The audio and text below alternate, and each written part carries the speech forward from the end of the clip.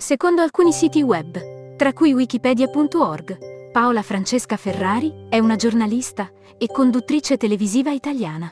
Attiva in Rai fin dagli anni 90, ha condotto i principali programmi sportivi della televisione pubblica, come la Domenica Sportiva e 90 Minuto. So di essere nel posto giusto.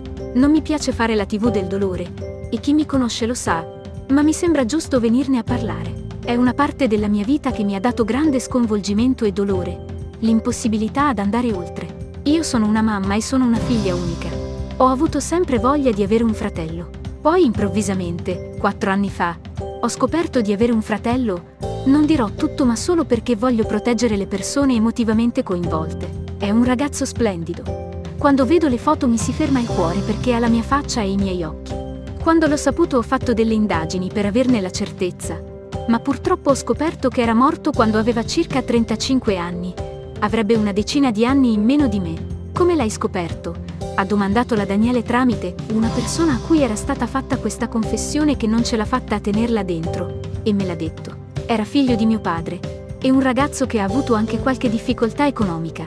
E mi è dispiaciuto molto non averlo potuto aiutare. Quando l'ho saputo, è stata un'emozione fortissima.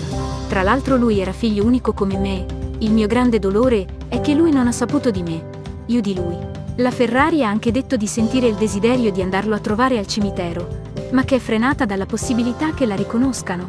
Ho sofferto molto. L'ineluttabile è orribile.